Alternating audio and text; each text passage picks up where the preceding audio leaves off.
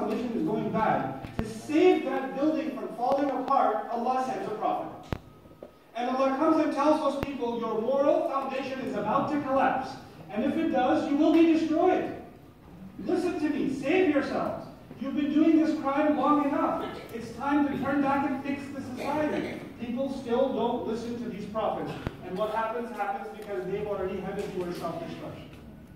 Prophets don't come to destroy nations, prophets come to what? Save nations. Now, this went on. One prophet after another, one prophet after another.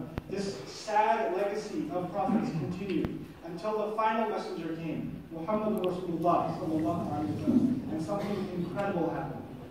The incredible thing that happened was every time before him, when a nation would come and a prophet would be rejected, Allah would send the punishment immediately and without a warning. It will hit them all, all of a sudden. It will hit them, attack them all of a sudden, and they won't even know what happened. The flood of Nuh, the collapse of the water on the Pharaoh, it hits them all of a sudden. They don't even know what happened. The rain, the fire rain on the nation of Nuh.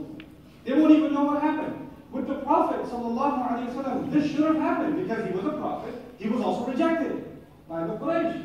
What did Allah do instead? Instead of sending a punishment from the sky, Allah sent a surah. A surah without mercy. A surah called Surah Al-Tawbah. By the way, Surah Al-Tawbah is used by groups as the go-to place to justify violence against people. Surah Al-Tawbah is no doubt about it violent. It is violent. It is merciless. It doesn't even begin with what? Bismillah. And there's a reason. This is the surah of Allah's punishment on the Quraysh.